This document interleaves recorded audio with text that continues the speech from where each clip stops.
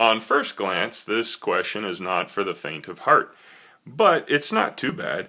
Um, we want to find the limit as x goes to negative 5 of this expression. The first thing we do is substitute an x value of negative 5 into the expression, but unfortunately we get the indeterminate form of 0 over 0. We don't want that, so uh, what we're going to do is try to rationalize the numerator and the denominator. The way to rationalize the numerator is to multiply by the conjugate of the square root of x plus 6 minus 1. And that is the square root of x plus 6 plus 1 as shown in red. But if we introduce that factor to the numerator, we need to introduce it to the denominator as well. But to rationalize the denominator, we need to multiply by 2 plus the square root of x plus 9. If we multiply by a factor of 2 plus the square root of x plus 9 in the denominator, we need to do the same thing in the numerator.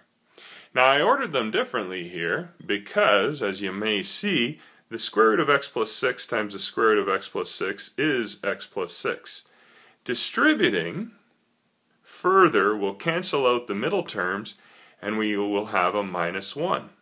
And we'll be left with this orange factor of 2 plus the square root of x plus 9. In the denominator, the 2 times 2 will be 4.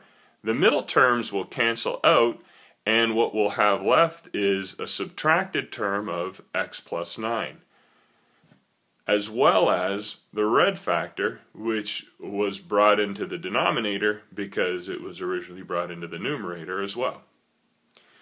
Well, we can simplify x plus 6 minus 1 to be x plus 5, and we can simplify 4 minus quantity x plus 9 to be 4 minus x minus 9, and we keep our other factors, of course.